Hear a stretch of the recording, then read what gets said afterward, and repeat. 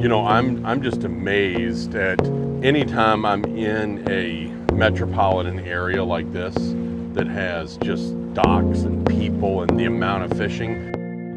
Are you on?